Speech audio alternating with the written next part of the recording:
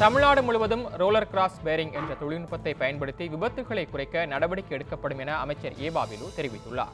உதகையிலிருந்து மைசூர் செல்லும் சாலையில் முப்பத்தாறு கொண்டை ஊசி வளைவுகளை கொண்ட கல்லட்டி மலைப்பாதையில் அமைச்சர் ஏவாவேலு ஆர். ராசா எம்பி ஆகியோர் ஆய்வு மேற்கொண்டனர். ஆஸ்திரேலியா அமெரிக்கா போன்ற நாடுகளில் நிறுவப்பட்டுள்ள தடுப்பு வளையங்களை கல்லட்டி மலைப்பகுதியில் சோதனை அடிப்படையில் அமைக்கப்பட்டு உள்ளதையும் ஆய்வு செய்தனர். அந்த பகுதிகளெல்லாம் இது நியூ டெக்னாலஜியை பயன்படுத்தலாம் அப்படின்னு நான் முடிவு பண்ணியிருக்கிறோம். அமெரிக்கா போன்ற ஆஸ்திரேலியா போன்ற நாடுகளில் மலைப்பகுதியில் வந்து இந்த ரோரல் சிஸ்டம்னு ஒரு சிஸ்டம் இருக்குது. அந்த ரோரல் சிஸ்டம் மூலமாக விபத்தில் குறைக்கலாம் அப்படின்ற வந்து ஒரு டெக்னாலஜி வந்து புதுசாக தமிழ்நாட்டில் நாங்கள் இன்ட்ரடியூஸ் பண்ணிக்கிறோம். அதில் முதல் முதலாக இப்போ வந்து நீலகிரி மாவட்டத்தில் இந்த தெப்பக்காடுக்கும் வந்து நம்ம மசனக்குடிக்கும் இருக்கிற இந்த மலைப்பகுதியில் பரிச்சாத்தமாக இப்போ அதை நாங்கள் போட்டிருக்கிறோம். நீங்களெல்லாம் பார்த்தீங்கன்னு நினைக்கிறேன்.